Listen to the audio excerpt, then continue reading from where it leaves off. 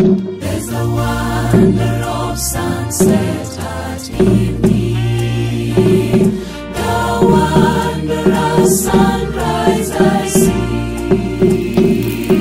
But the wonder of wonders that fills my soul is the wonder. But the wonders of wonders that thrill my soul is the wonders that God loves me.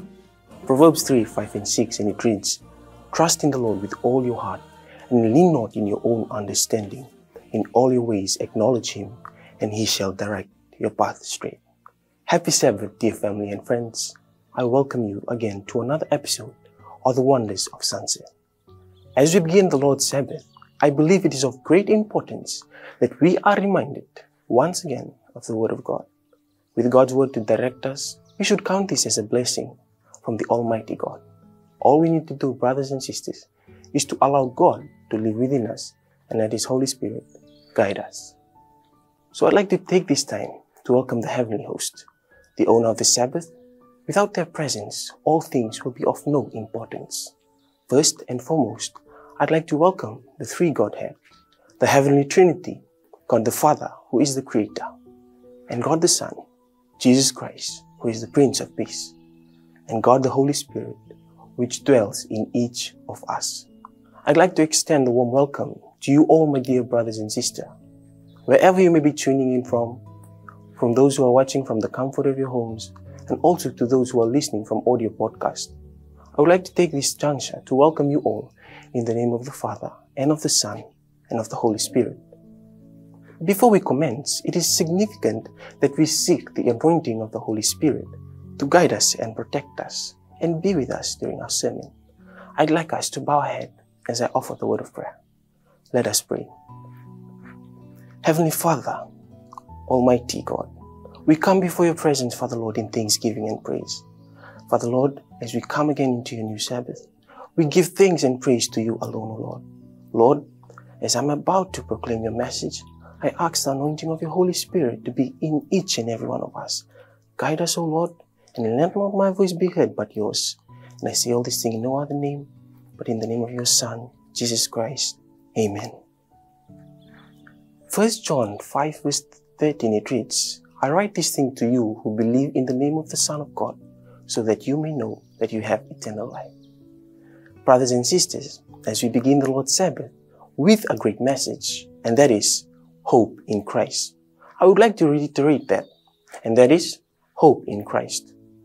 By your understanding, what do you understand by this word hope? It is defined as a feeling of expectation and desire for a particular thing to happen.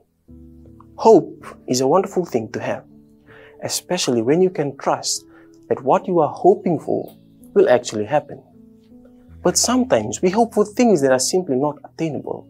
Some place their hope in winning lottery or other people place their hopes in the form of gam- gambling in order to get rich so quickly.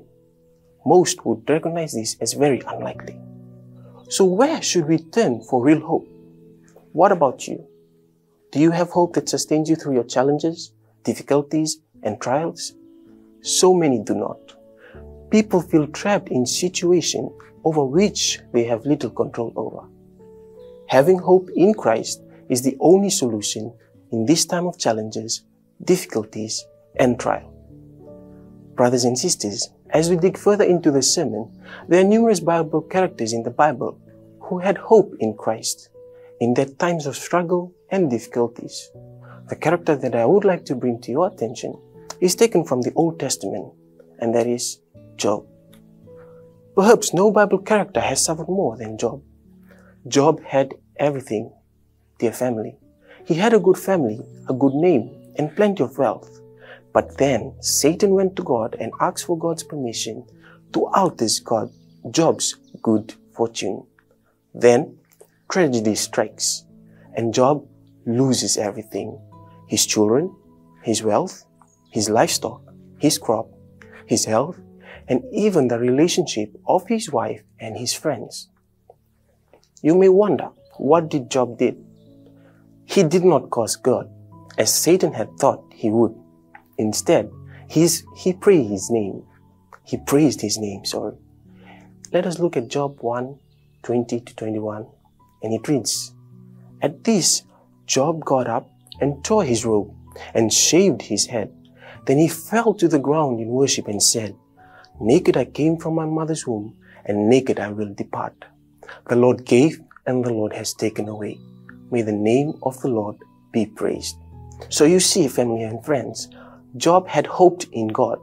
Inst- indeed, he questioned God, but at the end of the day, he repented and asked for God's forgiveness. Job remained faithful and hopeful that one day God will save him, which he did. God did not only save him, he healed him, he blessed him, and he rewarded him more of what he had owned before.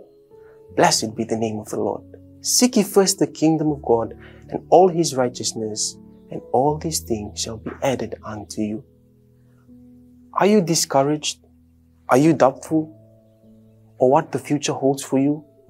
Does the ember of hope in you seems to be burning so low? Here is how you and I, we can set our hope ablaze. At first, we need to put our 100% of hope in the God of heavens. The Bible says in Jeremiah 29:11 that I know the plans I have for you, declares the Lord, plans of good and not of evil, plans for a future and a hope. Yes, God plans towards you. Have hope in Him. Nothing on this earth, my dear family and friends, not money, not your job, nor your ability, not even human relationships are able to apply you or supply you with a real burning hope. God does miracle for people and he does miracle in people. You should be one of them. Have hope in him. Secondly, the desire to know God with all your heart. And you will see your hope grows.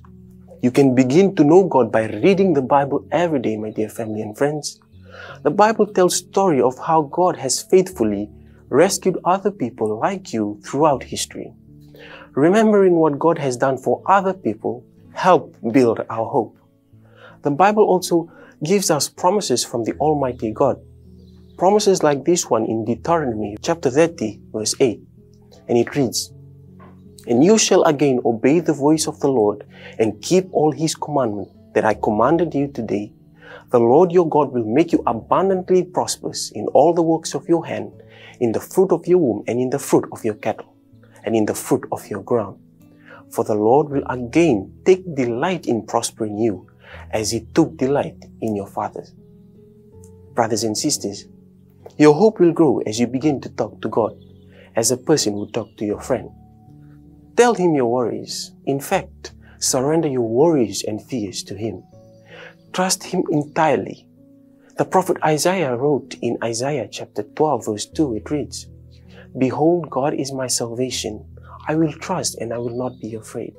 For the Lord God is my strength and my song, and he has become my salvation. Thirdly, if we want our hope to be burning so brightly, we must believe that God has given you victory over death. If you will believe. What? Yes. Death, hell, and damnation have all been conquered and have no future power over you. What does that mean? You will all see there will be a final judgment, but God says in Romans 8 verse 1, for there is no condemnation for those who are in Christ. Now consider this verse in Romans 6 and 23. For the wages of sin is death, but the gift of God is eternal life in Christ Jesus our Lord. Do you see the key of hope? Being in Christ is the key to making it through the judgment. Yes, there is hope, magnificent hope of eternal life. It all comes about in Christ Jesus. It evolves around Jesus Christ. Why? Because that was God's sovereign design. Notice this famous word of Jesus himself in the Holy Bible. As we look at John 13, John 3 verse 16 and 17, it reads, For God so loved the world that he gave his only begotten Son, that whosoever believeth in him should not perish, but have everlasting life. For God did not send his Son into the world to condemn the world, but that the world through him might be saved. Oh friend, can you see that you have so much to have hope in? Don't be discouraged and don't doubt the future. Trust in God and the Savior of the heavens. Remember, as I conclude, we need to have, we need to understand the three steps which has been, which has been mentioned and will help your hope flourish. And that is to put our hope in God. And secondly, make every effort through daily Bible reading and conversational prayer to know God as a friend. And thirdly, having hope because Jesus came, died, and rose to life, and is now seated at the right hand of God. In 1 Peter 1 and 3, it reads, Blessed be the God and the Father of our Lord Jesus Christ. According to his mercy, he has caused us to be born again to a living hope through the resurrection of Jesus Christ from the dead. Do you want hope? Do you want peace in your life? Do you want peace with God? Our answer can be found in Romans chapter 5 verse 1 to 2 and it reads, Therefore since we have been justified through faith, we have peace with God through our Lord Jesus Christ, through whom we have gained access by faith into this grace in which we now stand. Therefore, we rejoice in the hope of the glory of God. Brothers and sisters, it is my prayer that the word of God that we have heard today will strengthen us, empower us, and motivate us as we begin the Lord's Sabbath. May the blessings of our Lord Jesus Christ be with us all. Let us pray. Our Father in heaven, blessed be your name. Thank you, Father Lord, for the wonderful message that we have heard. We thank you, Lord, for providing us with things that we have wanted. We thank you, Lord, for giving us the real burning hope. We ask you, O Lord, to please guide us and protect us as we go through your Sabbath. And as we end the Sabbath, O Lord, we give praise and glory unto you and to you alone. Thank you, Father Lord, for this message. And thank you, Lord, for anointing us with your Holy Spirit. And I say all this thing in no other name,